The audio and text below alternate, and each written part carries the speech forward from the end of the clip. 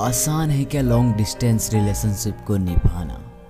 जहाँ एहसासों को virtual media के थ्रू बयां कर जाना और अपने दुख को हर वक्त उससे छुपाना। उसके एक वीडियो कॉल के इंतज़ार में अपना पूरा दिन बिताना।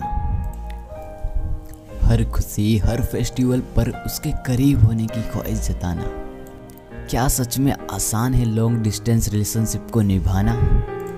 चाह कर भी उसको गले से ना लगा पाना और बस ख्वाबों में मीलों दूर का रास्ता तय कर जाना और फिर सुबह उठकर खुद को उससे बहुत दूर पाना और रात में देखे उन ख्वाबों पर सुबह उठकर हल्का मुस्कुराना।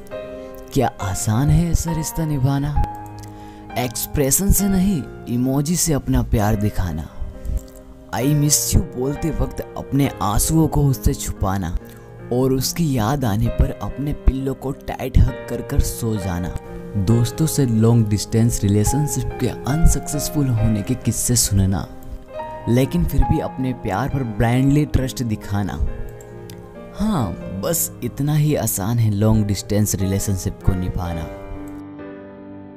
तो दोस्तों, अगर आपको ये वीडियो पसंद आया तो इस वीडियो को लाइक कर दीजिए। और दोस्तों, आपको अगला वीडियो किस टॉपिक पे चाहिए, हमें कमेंट करना ना भूले। यानी कि ब्रेकअप पे रोमांटिक शायरी चाहिए, कि लव शायरी चाहिए, या वन साइडेड लव की शायरी चाहिए, ये हमें आप कमेंट कर दीजिए।